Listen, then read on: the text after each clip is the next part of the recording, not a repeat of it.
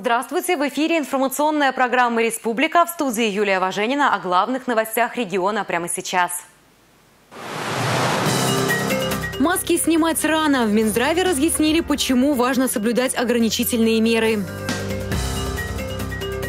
Дороги и мосты. В правительстве обсудили планы развития дорожной сети республики.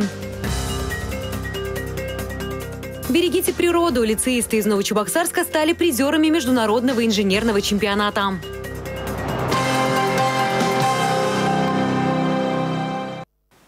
Пятнадцатилетний подросток утонул в Волге у Новочебоксарска. Трагедия произошла днем около шлюзовых каналов недалеко от ГЭС. Несовершеннолетний пришел на Волгу с друзьями. Подростки решили искупаться в неположенном для этого месте. По предварительной информации, ребенок вместе со своими сверстниками находился на бетонированном берегу и в ходе попытки зайти в реку упал и утонул в нескольких метрах от суши. Отмечаем, что данное место не было оборудовано для купания людей. Прокуратура Чувашской Республики по данному происшествию организованы проверочные мероприятия, которые были поручены прокуратуре города Новочебоксарска. В ходе проверки будут установлены подробные обстоятельства произошедшего, дана оценка деятельности как органов местного самоуправления, так и иных лиц, не обеспечивших безопасное нахождение подростка в указанном месте. А, кроме того, будет проведена проверка условий жизни несовершеннолетнего и наличие за ним надлежащего родительского контроля. Процессуальная проверка, проводимая следственными органами, взята прокуратурой на контроль. По данным МЧС Чувашии, в республике только за два месяца на воде погибли 20 человек. Я вам настоятельно рекомендую побольше разговаривать, беседовать с детьми, как себя вести на улице, в местах отдыха, на берегу водоема, в воде. И настоятельно рекомендую, советую детей без сопровождения взрослых не отпускать на берег водоема для купания. Даже находясь вместе с детьми на берегу, при купании, пожалуйста, внимательно следите за детьми.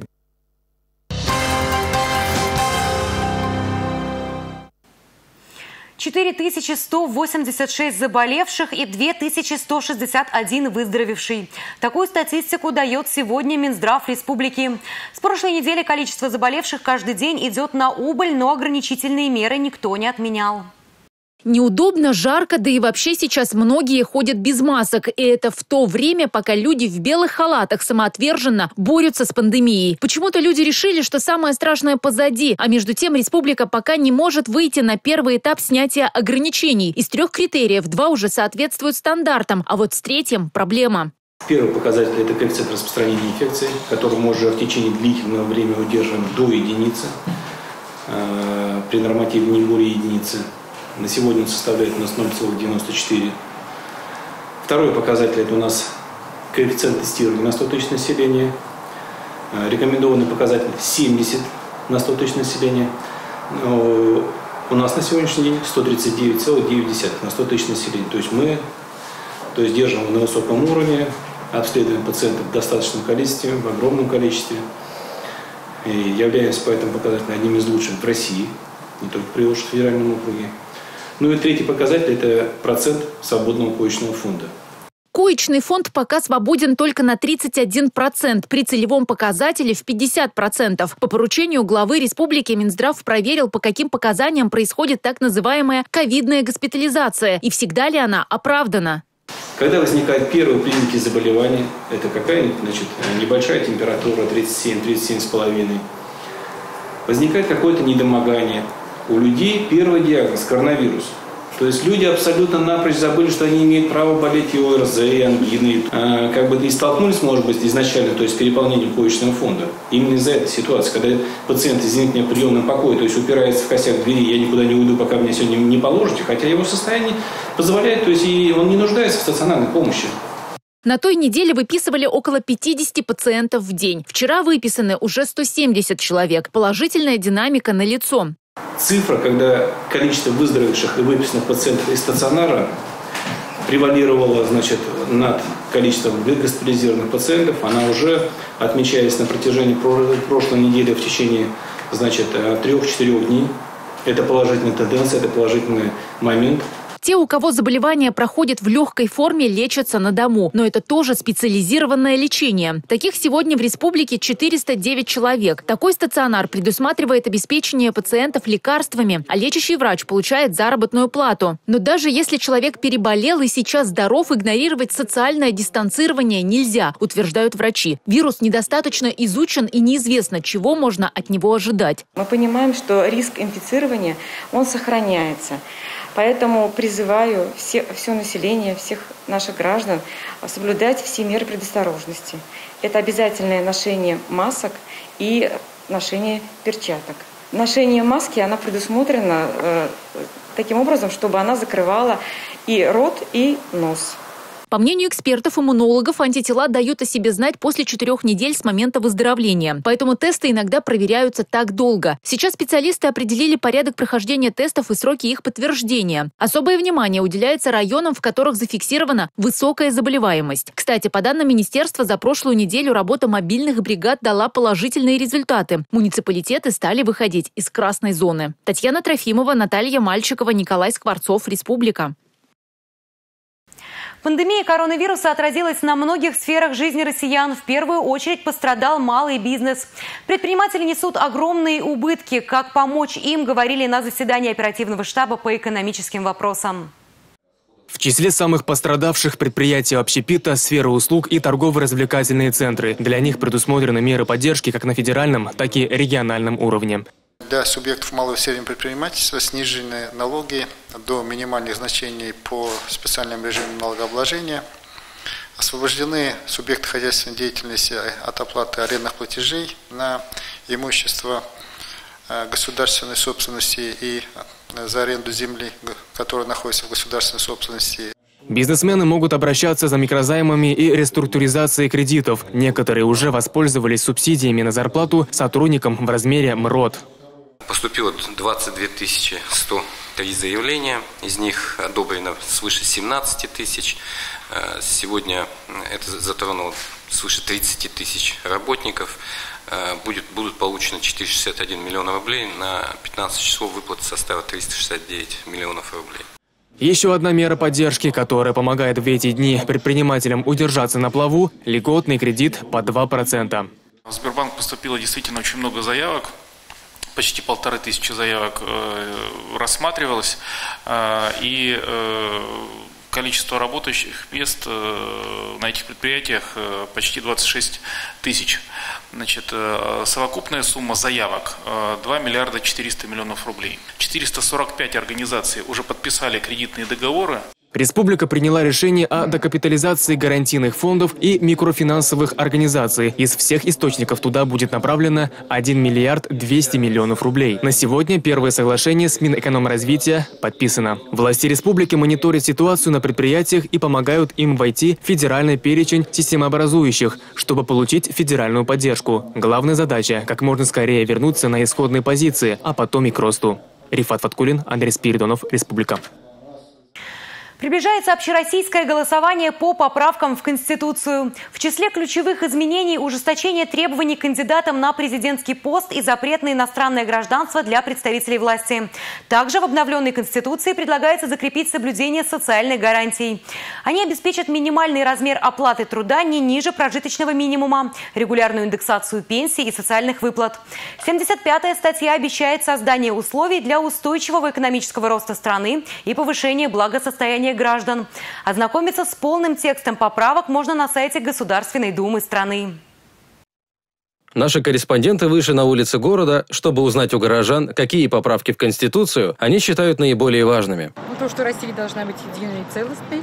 А, честно сказать, я не с каждой поправкой согласен, однако важнейшая из них я считаю как раз а, ежегодная индексация пенсий, социальных выплат и, опять же, гарантия того, что минимальный размер оплаты труда будет не меньше прожиточного минимума.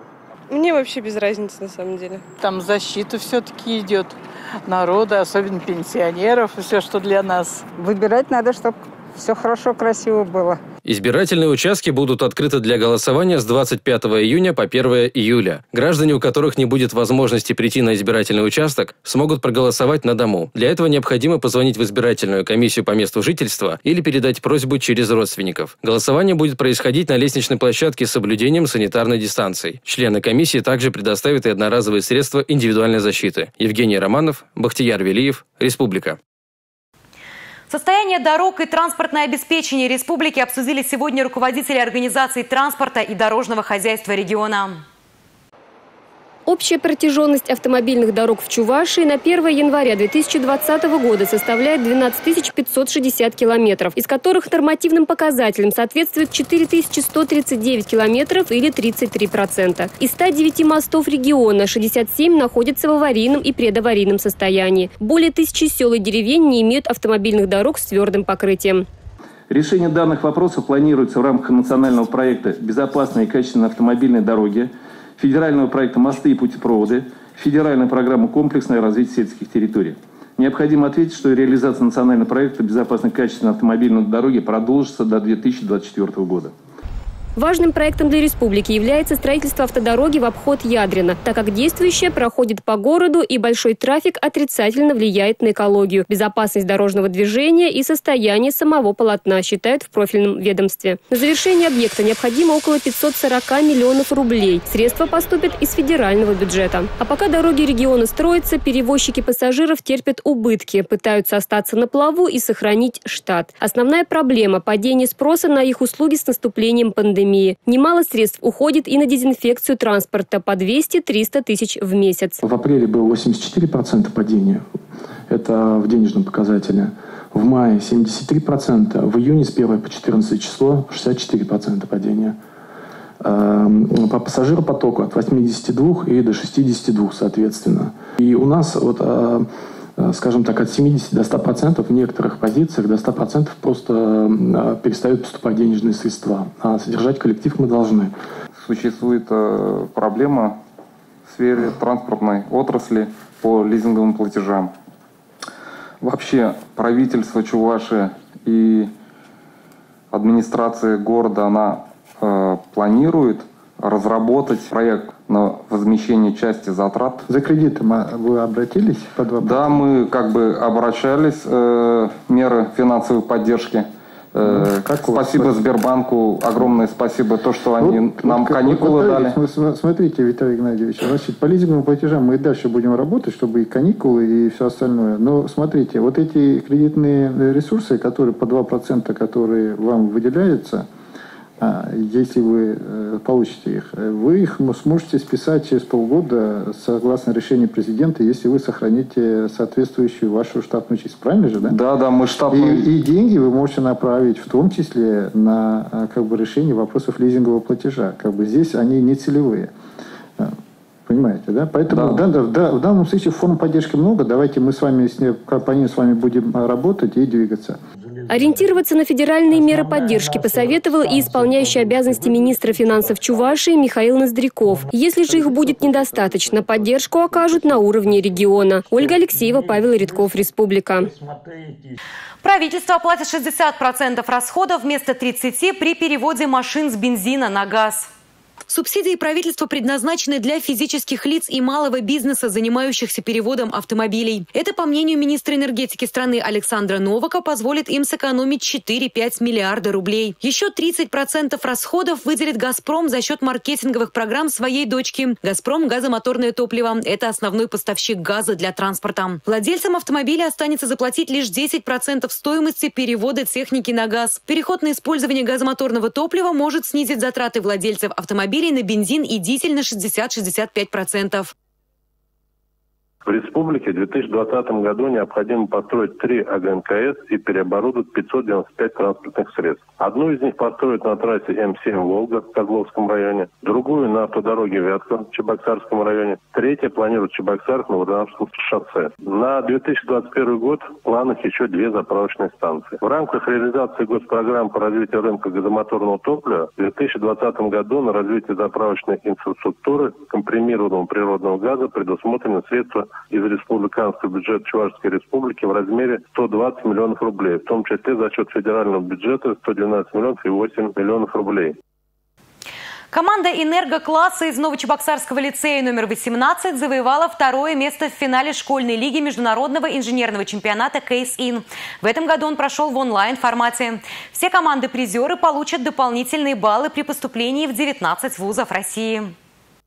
48 команд из разных регионов России соревновались между собой. 10 из них из энергоклассов Русгидро. Ученики старших классов формировали группы по 3-4 человека. Итоговые работы финалистов школьной лиги посвящены внедрению экологических решений на предприятиях промышленности. Задача была проанализировать предложенную в кейсе проблемную ситуацию и предложить выход. Нашей команде достался кейс «Круговорот углеводорода в быту и промышленности». В задании кейса нам нужно было э, составить преференции для этой экономической зоны зоны, угу. разработать всякие такие фишечки, чтобы привлечь молодежь правильно сортировать мусор, утилизировать его.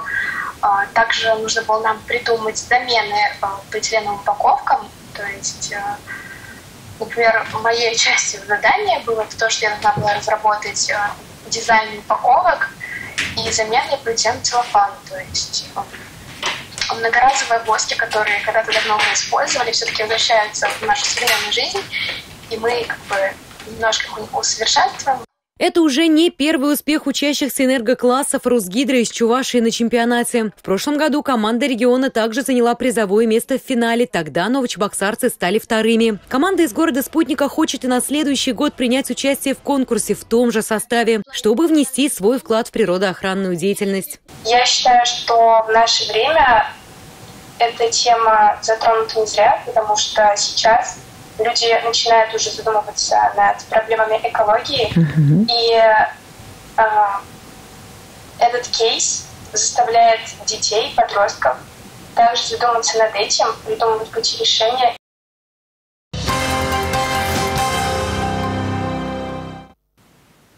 В Чувашии снимут документальный фильм о местных православных святынях. Премьера запланирована на август. Картину можно будет увидеть на каналах «Спас» и «Союз». Жители республики смогут посмотреть фильм также на большом экране в рамках Чебоксарского кинофестиваля. Съемки документального фильма «Святыни Чувашского края» пройдут в Веденском кафедральном соборе в Чебоксарах, в двух монастырях столицы республики – Свято-Троицком на набережной и Спасо-Преображенском на Владимирской горке. Также съемочная группа посетит храмы Мариинского посада и села Кушникова, Троицкий собор в Ядрине, Тихвинский Богородицкий женский монастырь в Цивильске, обители и храмы Алатыря. Региональный центр по хоккею откроют в День Республики. Строительство спортивного сооружения уже завершилось. Торжественное открытие состоится 24 июня в рамках празднования столетия Чувашской автономии. Он станет филиалом 4-й республиканской школы Олимпийского резерва, базирующейся в Новочебоксарске. В спортивном комплексе есть все необходимые помещения, разминочный зал, раздевалки, санитарные комнаты. Для любителей массового катания в здании организуют прокат коньков. Будет работать гардероб. Каток оборудован современной аудиосистемой.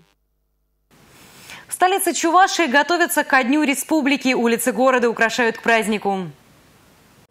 На главных проспектах города устанавливают флаги с символами юбилея, баннеры и другие объекты. Транспортные кольца украшены цветами. На улицах Чебоксар появились выставки проекта «100 выдающихся людей Чувашии». Особое внимание жителей и гостей столицы должен привлечь арт-объект у монумента матери-покровительницы. Там будет установлен цветник с изображением карты Чувашской республики и циферблатом. Горожане к визуальным переменам относятся положительно. Ну, наш город, конечно, красивый, стараются. Везде все такой порядок. Мне очень нравится. На второй праздничной площадке в Красных Читаях работы по благоустройству площади Победы подходят к концу, и торжественные мероприятия пройдут, как и было запланировано. Это были новости вторника. Я с вами прощаюсь. До завтра.